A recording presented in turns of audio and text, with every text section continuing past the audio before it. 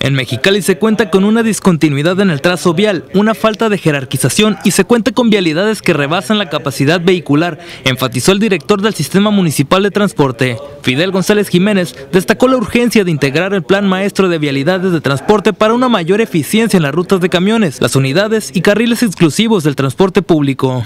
Comentó que en la ciudad hay un flujo de 520.092 carros transitando, de los cuales el 75% son particulares, que equivalen a 2.5 carros por vivienda y que son los generadores de mayor contaminación. Del monto total de unidades en circulación, 1.566 son taxis o camiones que integran 40 rutas, de las cuales 9 transitan en la zona suburbana y el 93% tiene una parada final en el centro de la ciudad.